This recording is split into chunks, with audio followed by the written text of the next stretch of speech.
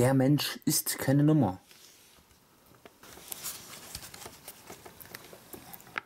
Prinzessinnen mit Sternen darf man nicht umbringen. Der kleine Adam. Der Planet Sushu Ho. Der 14. November 1943. Der kleine. Ich darf das Wort eigentlich gar nicht sagen, aber es steht da drin, ist eigentlich eine Beleidigung. Der kleine Zigeuner von Jitka Lodeova.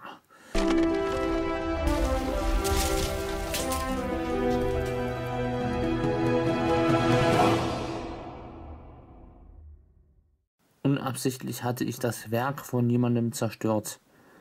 Auf dem Bürgersteig kauerte ein kleiner Junge. Kein Weißer. Aber was tut das zur Sache?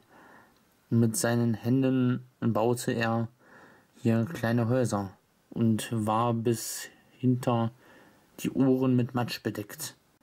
Fast schlich ich schon, und noch bevor ich um die Ecke abbog, schaute ich mich um. Das, was ich zu sehen erwartet hatte, sah ich nicht.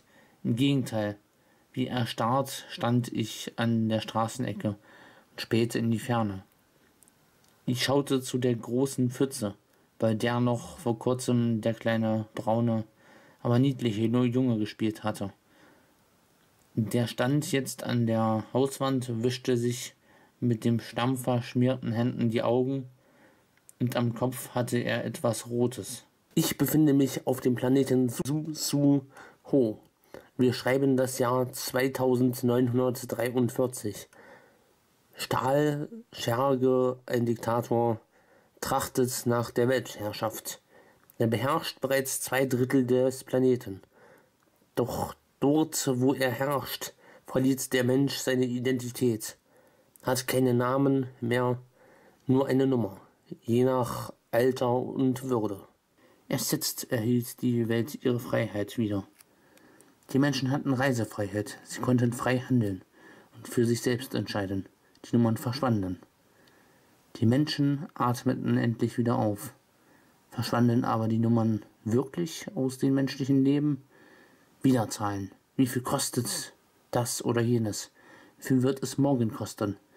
Was und wie viel muss der Mensch schaffen, um Vorschriften, die er kennen und beachten muss, gerecht zu werden? So kam bei Matten nicht ein neues Kind zur Welt und das Lager bekam einen neuen Häftling. Es war, als würde der kleine rotgesichtige Mensch den dunklen Raum mit goldenem Licht erfüllen. Wie wird er heißen? fragen die Frauen. Eigentlich weiß ich es nicht. Vielleicht nach dem Vater, stotterte die Mutter vor Glück. Bring ihm lieber bei, sich an seine Nummer zu gewöhnen.